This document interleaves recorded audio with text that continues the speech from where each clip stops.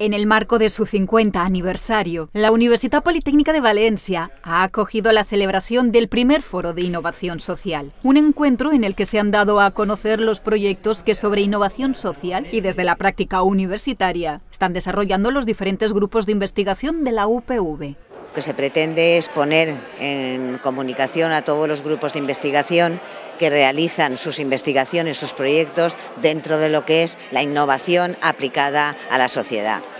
Hay muchísimos grupos en la UPV, muchos de los cuales no saben lo que está haciendo el equipo de investigación que tiene al lado, entonces era un poco hacer networking para que se conozcan todos y que la comunidad universitaria y la sociedad conozca todo lo que se está haciendo. Innovación social es un concepto cada vez más utilizado. De hecho, existe un interés creciente en la búsqueda de soluciones que promuevan el desarrollo de una sociedad mejor, apoyando a sus colectivos y eliminando barreras geográficas, sociales, económicas y educativas. Yo creo que la innovación social tiene que ser una innovación ética que se dé cuenta de qué necesidades hay, qué es lo que todavía falla, qué es lo que todavía no está cubierto de la sociedad e ir con ingenio pensando en cómo solucionar esos problemas. Yo creo que las empresas, las organizaciones, las, universidades que actúen en ese sentido serán las que resultarán más rentables, más productivas más sostenibles y sobre todo más justas. Además del esfuerzo creativo, la innovación social conlleva la implicación de varias disciplinas, y en concreto de las tecnologías de la información y la comunicación, convertidas en muchas ocasiones en motor de la innovación social, porque ofrecen un gran potencial a la hora de encontrar soluciones a problemas concretos. Se espera que para el 2050 la, la, la cantidad de personas mayores que vivan solas va a ser muy alto. Entonces necesitamos crear tecnología que nos permita suplir esas necesidades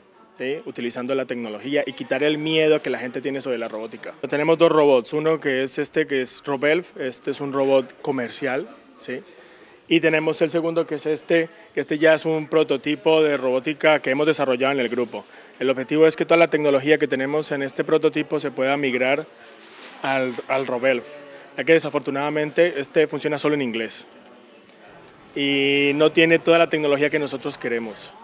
Queremos incorporar detección de estados emocionales, queremos incorporar eh, conexión con dispositivos IoT, queremos incorporar también eh, planificación de actividades, que, que, el robot detecte tu estado emocional y te diga, mira, veo que estás triste, eh, vete a jugar petanca o ve a dar una vuelta, o mira televisión, o escucha música. Aquí lo que presentamos es un proyecto que se llama Proyecto Valencia Data, eh, que consiste en crear una plataforma digital para eh, que el ciudadano se empodere en el uso y control de sus datos personales, de alguna manera. Entonces, lo que, lo que produce es una gran participación social, ya que el propio ciudadano tiene un control total y absoluto sobre sus propios datos y aparte la comunidad científica se beneficia de esos datos